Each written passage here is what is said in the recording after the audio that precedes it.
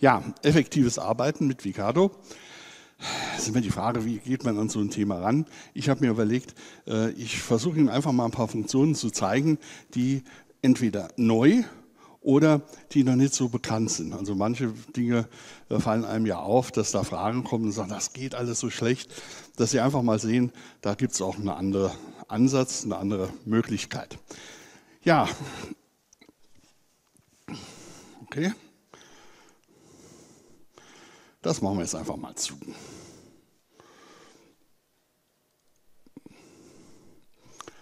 So. Jetzt sehen Sie auch mal das Modell, so wie es aussieht, wenn es fertig ist.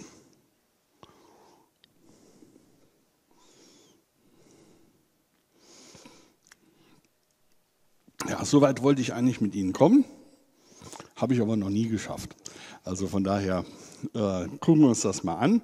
Und jetzt fangen wir einfach mal mit ein paar Dingen an. Einmal sehen Sie, hier ist ein, so ein Balkon und da ist ein Geländer. Und das mache ich jetzt mal weg und sage, statt des Geländers hätte ich gerne eine Brüstung. Hm. Fangen wir zunächst mal an mit der Wand oder mit der Frage, wie legt man denn ein neues Bauteil an? Und da gibt es mehrere Möglichkeiten. Ich möchte Ihnen einen zeigen, die mir eigentlich ganz gut gefällt. Ich nehme mal hier eine Betonwand und zeichne die mir zunächst einmal individuell hier rein und gehe jetzt hier auf die Eigenschaften. Und jetzt kann ich natürlich in dem Bereich Geometrie hier einfach neue Schichten erzeugen. Das heißt, wir haben also jetzt hier äh, eine dreischalige Wand. Und jetzt können wir jetzt zunächst mal die Dimension oder die, die, die Schichtdicken ändern. Das sollen 14 cm sein und das wegen mir eine 20er Wand. Dieses DH heißt eigentlich Delta H und ähm, das ist die Möglichkeit, eine Wand von ihren Geschosseigenschaften zu lösen und dann einzutragen, wie viel sie höher ist als der Standard, also als diese 2 Meter 60,5, die wir hier eingetragen haben. Und das heißt hier 20 cm draufschlagen. Wenn ich das nicht mache, ist es gegraut, die 20 cm bleiben. Das hat folgende Bewandtnis.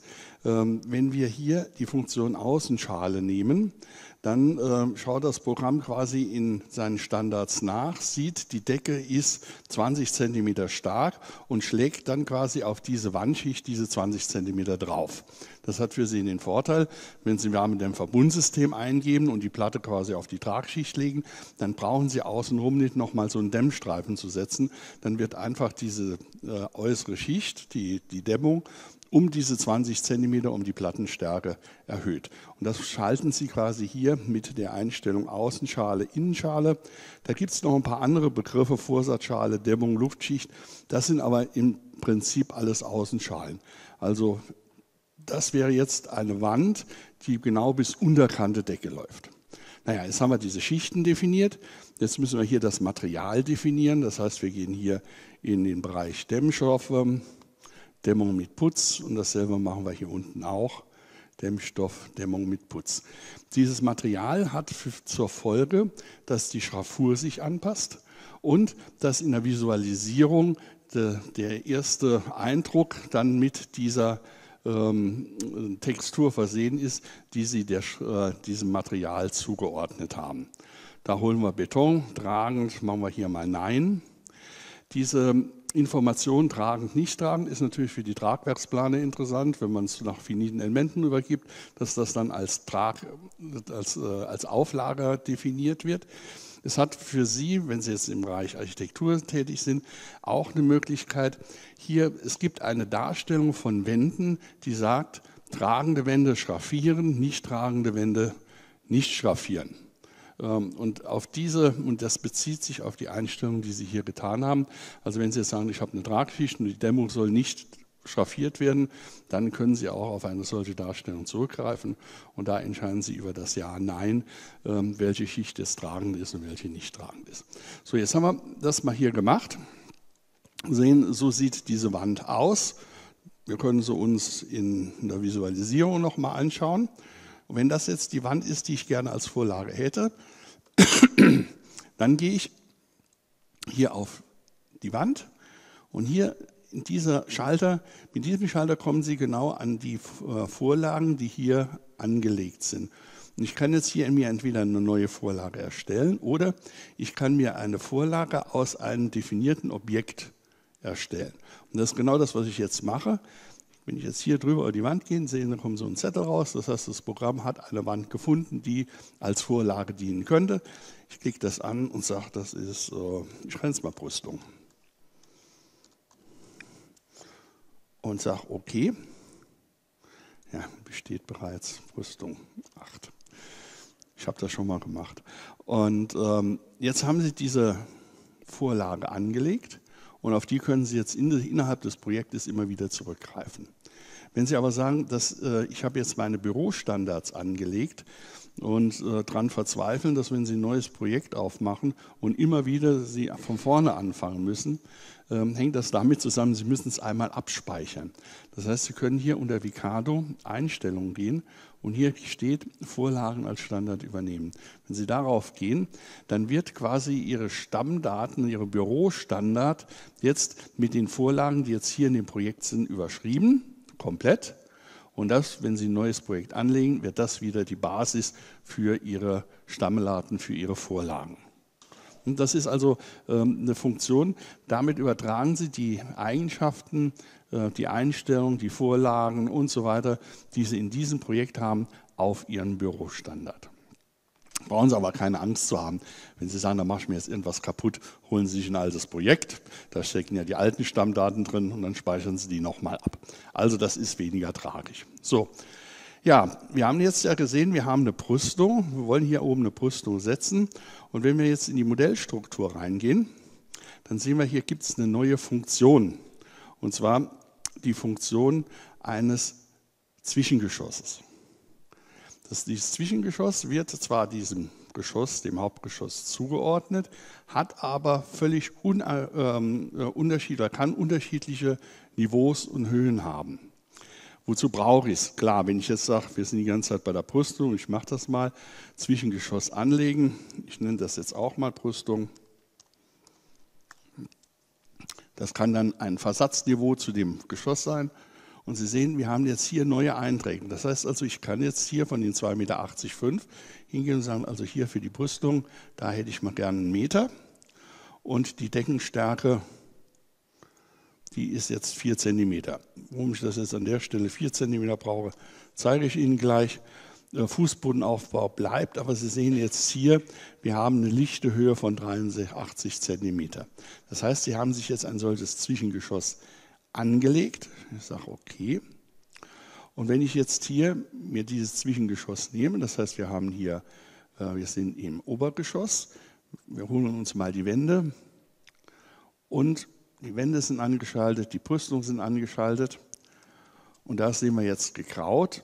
Aktiv ist die Brüstung. Und jetzt holen wir uns die Wand. Ich brauche noch die Decke aus dem Erdgeschoss, ne, damit ich mich darauf beziehen kann. Aber aktiv ist Brüstung Standard. Und jetzt nehmen wir uns diese Wand, die wir eben angelegt haben. Das war die Betonwand. Die holen wir uns jetzt hier raus. Und die fange ich jetzt hier einfach mal an zu setzen ändere meine Bezugsseite, kann jetzt hier drauf gehen und jetzt einfach hier unten rum diese Wand setzen. Und jetzt wird diese Wand die Eigenschaften dieses Zwischengeschosses annehmen.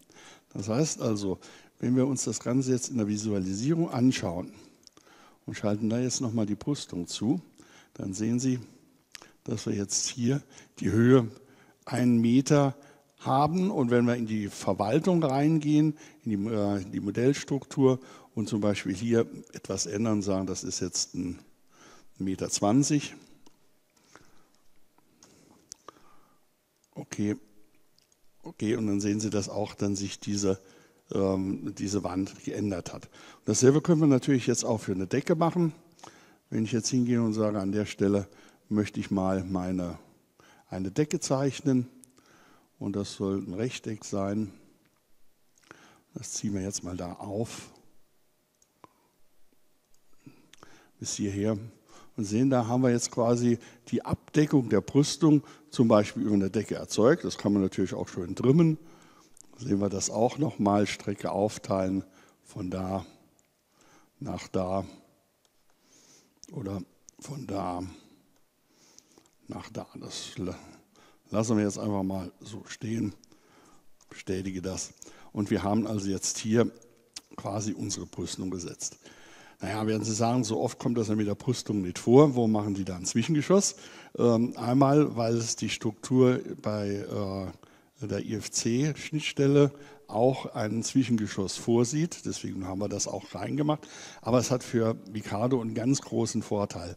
Wenn Sie im Altbau sind und haben unterschiedliche Geschosshöhen im Erdgeschoss, dann können Sie das natürlich in den Zwischengeschossen abbilden.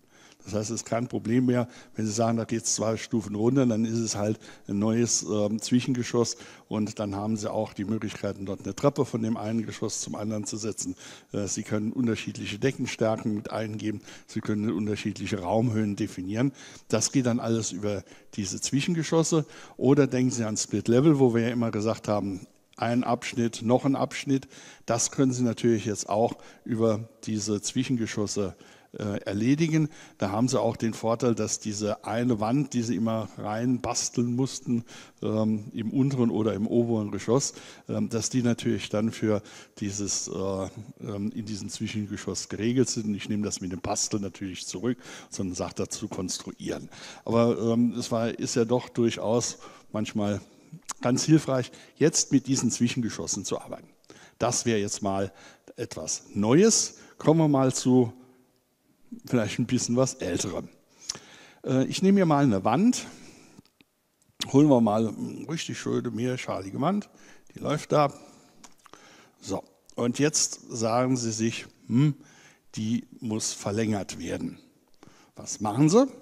Sie markieren die Wand und sagen trimmen und sagen, ja, jetzt trimme ich und dann stellen Sie fest, Sie müssen jede Schicht einzeln trimmen. So, und wer das da mal gemacht hat, der merkt, das ist nicht unbedingt effektives Arbeiten. Hm? Jetzt machen wir das mal anders. Und das ist eine Funktion, die gibt es seit der Version 2004, hm? also schon ein bisschen länger. Und zwar steckt hier drin der Befehl dehnen. Und das ist das, was Sie nehmen müssen. Dehnen. Heißt, Sie ziehen jetzt eine Box auf, damit ist, sind alle Bauteile in dieser Box drin und dann können Sie sagen, von da in die Richtung Abstand 1,50 Meter und dann haben Sie die Wand sofort um 1,50 Meter gedehnt. Also dieses Verlängern einer mehrschaligen Wand machen Sie es übers Dehnen. Und weil wir da jetzt gerade so schön beim Dehnen sind, können wir da auch noch ein bisschen was anderes machen. Und zwar die Frage, wie kriege ich denn jetzt bitte schön dieses Haus einen Meter länger oder in dem Fall machen wir es mal einen Meter 50 breiter. Naja, jetzt haben wir diese Funktion dehnen ja schon gesehen. Also ist das wahrscheinlich dieser richtige Ansatz. Ich gehe mal ins Erdgeschoss rein und mache folgendes. Äh, ich gehe nochmal auf meinen Begriff dehnen und ähm, den möchte ich jetzt hier diese Box aufziehen. Von da bis da und jetzt sage ich von da in die Richtung Abstand 1,50 Meter Ende. Und dann gucken wir und dann sehen wir, ach, da ist diese Schublade aufgegangen. Also das war es anscheinend nicht. Es gibt bei diesem Dehnen einfach zwei äh, Regeln, die Sie beachten müssen. Es wird alles gedehnt, was Sie in einer Sicht sehen. Also alles, was dargestellt wird, wird gedehnt.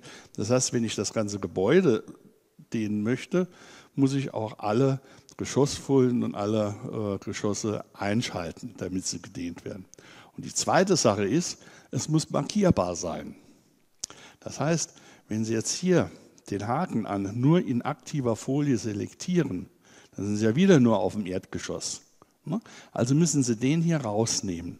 Und jetzt kann man ja alle Bauteile, auch die, die nicht in dieser Geschossfolie oder in dem Geschoss liegen, dann kann man die markieren. Und jetzt versuchen wir das nochmal mit dem den Befehl. Ja, ich will halt diese Wand nehmen, so von da nach da. Das ist es von da in die Richtung. Abstand 1,50 Meter. Und dann sehen Sie, das Haus ist komplett gedehnt worden. Da gehen die Räume mit, da gehen äh, ihre angebundene Bewährung geht auch mit, die nicht angebundene, die bleibt. Dort wo sie war. Und diesem Dehnen, das Dehnen hat ein paar Regeln, die ganz vernünftig sind. Äh, eine dieser Regeln ist, wir ändern keinen Winkel der Wand. Also wenn Sie eine Wand irgendwie so diagonal drin haben, also mal 45 Grad, und wir dehnen die, dann wird die verlängert. Das heißt also, wir äh, ändern keinen Winkel der Wand. Oder ein Fenster, eine Stütze, ein Schornstein, der wird nicht gedehnt, der wird verschoben. Entweder liegt er in der Box drin, dann wird er verschoben, oder wird geschnitten oder liegt nicht drin, dann bleibt er an ordentlicher Stelle liegen. Also es sind ein paar vernünftige Regeln äh, hinterlegt. Ähm, aber dieses Dehnen funktioniert auch beim Dach. Das heißt also, wenn Sie jetzt hier hingehen und sagen, ich habe da ein, äh, ein Satteldach, dehnen, äh, machen es breiter, dann ändert sich zwar die Firsthöhe und die Lage des Firstes, aber prinzipiell wird dieses Geschoss mit seinen Gauben und mit allem, was da drin ist, auch dementsprechend gedehnt. Das wäre jetzt die eine Sache. Jetzt suchen wir mal wieder ein bisschen was Einfacheres. Das war ja auch eigentlich auch einfach. Wir gehen noch mal ins Erdgeschoss rein. Und ich nehme jetzt hier meine Wand. Wir holen uns diese Außenwand von eben. So. Und jetzt die Frage, wie mache ich eine Wand dicker? Naja, klar, bei rechte Maustaste, Eigenschaften, 60 cm ist sie dicker. Die Frage ist eher, die, äh, wo wird die, in welche Richtung wird die dicker? Und die Richtung oder die Kante, die festgehalten wird, die wird durch diesen Punkt markiert. Das heißt also, wenn, jetzt, wenn der Punkt hier liegt, dann ist diese Kante frei, die wird jetzt dicker. Ich mache mal einen Undo-Befehl, dann sieht man es. Sehen Sie da? Und die wird quasi, die Kante bleibt, die anderen werden dicker. Und das ist die Frage, wie kann man das ändern? Natürlich in den Eigenschaften der Wand und da gibt es hier Lage der Bezugslinie. Und da können Sie jetzt hingehen und sagen, das ist Außenseite in dem Fall. Und damit ist jetzt der Punkt da oben hingewandert. Und wenn ich jetzt hier hingehe in die Eigenschaften und sage, die ist jetzt wieder 30 cm, okay, und dann sehen Sie die, mit dem Undo-Befehl kann man das mal ganz gut darstellen, dann ist diese Seite jetzt dementsprechend dicker. Und dann kommen wir jetzt zu dem eigentlichen Problem, warum ich Ihnen das sage. Äh, die Frage ist, Sie haben jetzt äh, Ihren Entwurf fertig, haben mit einer 40er Wand mal monolithisch gearbeitet und möchten jetzt sagen, okay, jetzt weiß ich, was kommt. Ähm, die Wand ist jetzt nicht mehr 40, sondern 46 Zentimeter stark. Wenn Sie die jetzt anklicken und dann sehen Sie, dass hier die Außenseite festgehalten wird. Das heißt, die Räume würden kleiner. Wenn Sie das nicht wollen, dann müssen Sie gucken, wie Sie das verändern. Das heißt, hier haben wir es ja schon mal gesehen, Eigenschaften. Und jetzt kann ich hier hingehen und sagen, nicht auf der Außenseite führen oder auf der Innenseite führen. Das können Sie auch auf einen Schlag machen. Das heißt, wir gehen mal hier hin, sagen, ich möchte die Außenwände markieren, gehen hier drauf, jetzt sind alle Wände markiert, alle Punkte liegen außen, rechte Maustaste Eigenschaften und dann haben Sie hier die Funktion, Platzierung, Außenseite und da gehen Sie jetzt hin und sagen, das ist die Innenseite, schließen. Und wenn wir jetzt gucken, markieren nochmal ein paar Wände, dann sehen Sie da, ist jetzt der Punkt nach innen gegangen und jetzt kann ich die Wandstärke ändern und die geht dann dementsprechend nach außen. Und jetzt ist natürlich die Frage, wie kriege ich jetzt hier aus diesen Wänden möglichst schnell, wir haben mit dem Verbundsystem. Hm? Das geht folgendes. Es gibt jetzt eine neue Funktion und das gilt nicht nur für die Wände, sondern auch für die Fenster, Stützen und so weiter. Also für alle Bauteile haben wir diese Funktion und das geht, die geht so. Ich suche mir zunächst einmal jetzt eine Wand aus, so wie alle anderen Wände werden sollen. Das heißt, ich gehe jetzt an der Stelle hin, sage, das ist ein Wärmedämmverbundsystem. Ähm, ich kann das abändern, kann sagen, ja, das ist jetzt wegen mir nur eine 17,5er Wand und äh, die Dämmung ist 20 Zentimeter. Das heißt, Sie haben jetzt eine ganz individuelle Wand hier eingestellt. Und wenn wir jetzt hier auf diese Art der Eingabe gehen, dann sehen Sie hier Wand ersetzen. Und jetzt kann ich eine Wand anklicken und Sie sehen, jetzt wird aus dieser Wand genau diese voreingestellte Wand. Bauteil ersetzen. Und wenn wir jetzt noch uns überlegen, wir haben ja hier jetzt gesagt, ich möchte nur die Außenwände markieren. wir sind jetzt hier in dieser Wand, in dieser voreingestellten Wand. Und wenn ich jetzt hier eine Box aufziehe, markiere ich alle Außenwände und ich habe die Funktion Tauschen. Und damit haben Sie jetzt auf einen Schlag alle Außenwände von monolithischen Mauerwerk auf ein Wärmedämmverbundsystem geändert. Also diese Funktionen tauchen überall auf. Das heißt also auch beim Fenster habe ich die Funktion Fenster ersetzen. Das Prinzip, Sie definieren über die Vorlage und das Verändern der Vorlage sich dieses Bauteil und können dann hingehen und sagen, ich ersetze dieses Fenster mit dem, mit dem und so weiter. Und ähm, das ist eine Funktion, die ist neu. Und ich glaube, das ist etwas, was Sie gerade, wenn man jetzt bei Wänden arbeitet, doch sehr, sehr oft gebrauchen können. So, kommen wir mal zu den Fenstern. Da waren wir ja eben schon mal dran. Ich markiere mal hier so ein Fenster. Eigenschaften. Und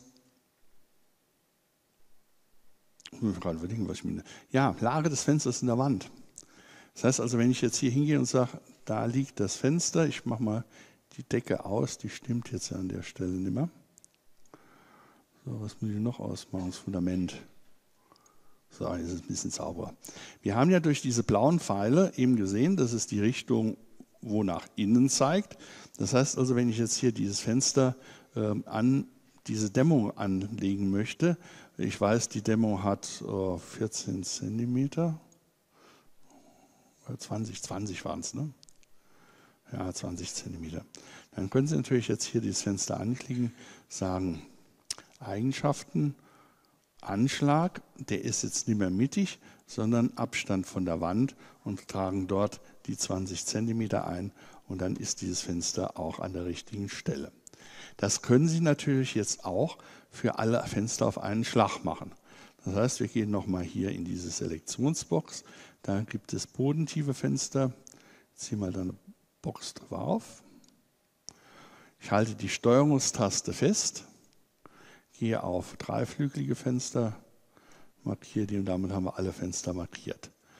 Rechte Maustaste, Eigenschaften und da kann ich jetzt sagen, Anschlag mittig, das soll Nein sein und wenn ich hier Nein eintrage, kann ich jetzt einfach da unten drunter eine Tiefe eingeben und kann jetzt sagen 20 cm, bestätige das und dann sind alle Fenster genau an dieser Stelle. Also das funktioniert auch. Und auf die Frage, wie kann ich denn jetzt äh, Fenster, die sind jetzt so hübsch braun, wie kann ich die denn auf einen Schlag weiß machen? Da haben wir natürlich die gleiche Lösung. Das heißt, wir gehen hin und sagen, ich markiere mal die bodentiefen Fenster, das reicht mal die hier. Rechte Maustaste, Eigenschaften. Und wenn wir bei den Fenstern nicht auf die Idee gekommen sind, unterschiedliche Materialien für Rahmen und, und, äh, und Blendrahmen zu vergeben, dann ist das hier aktiv und ich kann jetzt hier hingehen und sagen, ich suche mir ein Weiß aus. Ich schließe das und was haben wir? Dieses Grau. Ähm, hängt damit zusammen, dass wir ähm, die die unterschiedlichen Kanten von Bauteilen dadurch darstellen, dass wir da Grau, ein Grau drüber legen. Und bei Farben wird das dann sehr, sehr deutlich. Das heißt, äh, die bessere Lösung wäre an der Stelle, in den Eigenschaften hinzugehen und sagen, statt dem, der, Text, äh, der Farbe wähle ich mir jetzt eine Textur aus. Und da wäre dann natürlich die erste Wahl weiß. Wenn wir das mit weiß machen, und dann sehen Sie, das ist zwar weiß, aber nicht so ganz weiß. Und dazu gibt es jetzt eine neue Farbe, die heißt Superweiß. das haben Sie vorher auch schon machen können, aber jetzt haben wir mal äh, was Neues uns überlegt. Und wenn wir hier in die Texturen reingehen und in die Farben, und da gibt es jetzt genau dieses Superweiß das ist eigentlich nichts anderes, als dass wir den Eigenschaften dieser Farbe hier die Helligkeit von 15 auf 50 Prozent geschraubt haben. Also wer noch mit einer älteren Version arbeitet, der kann das dann genauso machen. Einfach dort an der Stelle ähm, die Helligkeit einfach höher setzen. Und wenn ich die jetzt hier lese und sage, das ist okay, und dann strahlt dieses Fenster aber wirklich von sowas von weiß. Also das wäre jetzt die Möglichkeit, auch auf einen Schlag die Texturen zu ändern. Ein bisschen was anderes ist, wenn Sie sagen, ich möchte die Darstellung von Fenstern ändern oder von, äh, von Türen ändern.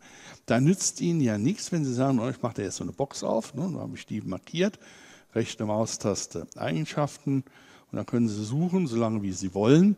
Hier finden Sie keine Darstellung. Warum? Weil wir hier objektspezifisch in einem Katalog sind, der die objektspezifischen Eigenschaften darstellt, also die Geometrie. Das heißt, ich muss hier hingehen und sagen, da steckt ja noch was drin, sichtspezifisch. Und wenn ich jetzt hier in sichtspezifisch sind, dann kann ich sagen, ich hole mir die nicht aus der Sicht, sondern ich hole mir eine Abweiche, eine Darstellung und da holen wir uns einfach mal Exposé, gucken uns mal an. So mit dem Aufschlag waren diese Fenster. Ich sage, ich möchte gern das Exposé und sehen, auf einen Schlag habe ich jetzt diese Fenster anders dargestellt. Also wenn Sie die Darstellung ändern wollen über diese ähm, Multifunktion, Multiselektionseinstellung, äh, dann denken Sie daran, alles, was mit Darstellung zu tun hat, ist nicht spezifisch. Und deswegen können Sie das auch nur an der Stelle einstellen. So, jetzt kommen wir zu einem ganz anderen Thema weil man das auch sehr oft braucht. Also stellen Sie sich vor, Sie brauchen hier so eine Verblechung um Ihren, äh, Ihre Brüstung. Wie kann ich das machen? Ein Wort vorher. Es gibt in Mikado wenig beachtet eine freie Geometrie. Und da habe ich die Möglichkeit, zum Beispiel ein allgemeines Bauteil zu definieren über einen Querschnitt. Ich mache das einfach mal. Den nehme ich mir und sage, da mache ich einen Querschnitt hin. Und jetzt passiert eigentlich Folgendes. Wir haben jetzt hier einen Quader erzeugt, die Geometrie, Rechteck, und der ist jetzt genau 2,80 Meter hoch, nämlich genauso, ich lösche den gleich mal wieder weg. So wie es hier eingestellt ist, das heißt also, hier wird einmal eine Geometrie, 2D-Geometrie gezeichnet und in den Bildschirm hinein wird jetzt quasi extrudiert. So, wenn ich das jetzt für meine Brüstung haben möchte, dann gehe ich natürlich hin und sage, ich lege mir jetzt einen Schnitt. Sichten, Schnitt, schneide jetzt hier mal an dieser Brüstung durch. So, da ist sie. Und wenn ich jetzt diese Geometrie definiere, dann geht es ja wieder in den Bildschirm rein, also genau in die Richtung, äh, wo auch die Brüstung läuft. Und wenn man jetzt ein bisschen genauer hinguckt, dann sieht man dann auch, dass bei den allgemeinen Bauteilen man die Möglichkeit hat, ein Polygon einzugeben. Und jetzt können Sie es eingeben, sagen von da nach da, nach da, da. Das wird jetzt ein dickes Blech. Ne? Übrigens, wenn Sie dieses Raster da nicht haben können, äh, mit der Steuerungstaste, dann wird das Raster ausgesetzt. Ne? Das heißt, Sie können jetzt hier auch ein bisschen feingliedriger arbeiten. Aber dann wird das eh nichts. So. C schließt. Jetzt muss ich dem Ding nur noch sagen, dass es hier ein Blech ist, Eigenschaften. Und da gehen wir mal hin und sagen, das ist wegen mir Aluminium und damit Sie es schön sehen, machen wir das in Gelb. Das heißt, wir haben uns jetzt genau so ein Teil konstruiert. So, und jetzt muss ich natürlich sagen, das muss ich ja irgendwie auf die Brüstung kriegen. Ähm, naja, ich markiere es mir mal. Und natürlich geht jetzt an der Stelle Trimmen. Ziehen wir mal dahin und ziehen es bis hierhin. Damit habe ich jetzt, sagen Sie, einfach dieses Bauteil rausgezogen. Und dadurch, dass wir das jetzt zweimal brauchen, übrigens auch eine schöne Technik, wenn Sie was mal schnell markieren müssen, markieren Sie es dort, wo Sie es am besten sehen, nämlich dann in dem Fall hier. Jetzt klingen Sie auch bitte nicht hier rein, dann ist es wieder weg. Klicken Sie da drauf und schalten das aktiv. Dann bleibt diese Selektion. Ja, und jetzt kann ich natürlich sagen, rotieren mit Kopie von da nach da nach da. Und jetzt verschieben wir das Ganze auch nochmal. Dann holen wir das an der Stelle und legen das ja, an der Stelle nicht hin, sondern wir verschieben das. Dann muss ich jetzt das nehmen und dann da dran und dann liegt das auch richtig. Dummerweise verschneiden diese 3D-Bauteile nicht, also diese allgemeinen Bauteile. Das heißt, wir müssen diese Bleche hier irgendwie so auf Gärung trimmen, schneiden. Die Funktion ist eine ganz einfache. Wenn wir uns da mal angucken, wir markieren das Bauteil, dann haben Sie hier das Teilen über Punkt auf Kante. Was hier passiert ist, Sie klicken hier einen Punkt an und senkrecht zu dieser Kante wird geteilt. Ich schiebe das mal gerade ein bisschen weg. Und sehen Sie, das ist jetzt quasi das, was jetzt hier abgeschnitten wurde. Hinter dem Teilen versteckt sich aber auch hier ein anderer Begriff, eine andere Funktion, nämlich Teilen über zwei Punkte. Und jetzt können Sie hingehen und sagen, ich teile von da nach da. Ich schiebe das jetzt nochmal raus, damit Sie sehen, was wir getan haben. Damit haben wir quasi dieses Bauteil so abgeschnitten. Jetzt machen wir das mit dem Ding genauso. Auch hier über zwei Punkte. Und dann haben wir das auch vernünftig über Gärung geschnitten. Ich platziere das mal so ein bisschen nebeneinander. Und Sie sehen also jetzt hier, dass der Schnitt wirklich exakt ist. Und das wäre jetzt Ihre Lösung für Gesimskästen, die nicht auftauchen, äh, eine Regenrinne, die nicht ein Halbkreis ist, sondern ein Rechteck. Also alle diese Dinge können Sie jetzt mit den allgemeinen Bauteilen sehr, sehr schnell machen. Und mit diesem Schneidebefehl können Sie da auch wirklich schön auf Gehung schneiden. Frage, wo kann man jetzt, wo braucht man das noch? Und das soll jetzt so quasi Abschluss sein. Ähm, wenn Sie einen Dachbinder haben, machen wir das zuerst weg. Und jetzt legen wir uns mal einen einfach hier hin. Das heißt, wir gehen hier auf Stahl, Balken